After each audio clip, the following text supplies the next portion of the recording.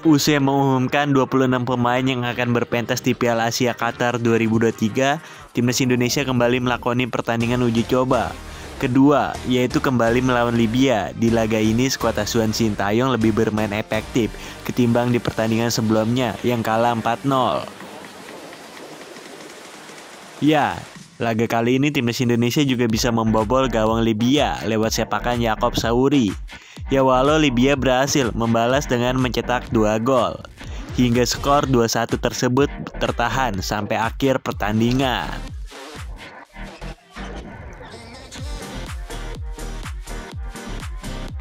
Tentunya di laga ini ada beberapa pemain timnas Indonesia yang menjadi sorotan seperti Marcelino Ferdinand dan Rizky Rido. Keduanya terlihat melakukan blunder Rizky Ridho melakukan blunder yang sangat fatal yang berujung gol bagi timnas Libya. Selain itu, netizen rame-rame mengkritik permainan Marcelino Ferdinand. Mantan pemain Persibaya ini memang berulang kali salah mengambil keputusan dan cenderung terlalu individual dalam mengelola bola.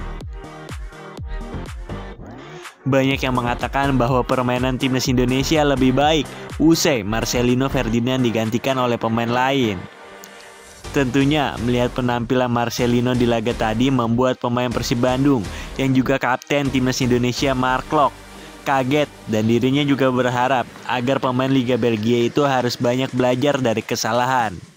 Apalagi usia Marcelino Ferdinand saat ini terbilang masih sangat muda bagi pemain profesional yang bermain di timnas senior.